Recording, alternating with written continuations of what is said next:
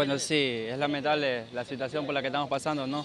Ya son cinco meses adeudados acá toda la, plantilla. Bueno, estamos acá esperando que el alcalde nos dé alguna respuesta mediante estas entrevistas que están haciendo. Gracias a ustedes por venir y, y bueno, esperamos nomás que el alcalde nos dé algo a entender para poder nosotros estar más tranquilos y pasar nuestra, nuestro fin de año eh, un poco más tranquilo, ¿no? ¿Y los dos presidentes que estuvieron anteriormente, hablaron con ellos, agotaron las instancias? Bueno, ellos, el presidente pasado nos prometía también lo mismo, lo mismo, pero nunca, nunca se acercaba ni dio la cara así como el presidente ahora. Pero bueno, eh, las deudas son anteriores y el que vino ahora prometió también que iba a cumplir con todo lo que deudaba ¿no? el equipo, pero no, no se ha acercado ni ha dado la cara. 21 de esta fecha nos dijeron que nos iban a cancelar dos meses y medio y hasta ahora esperamos.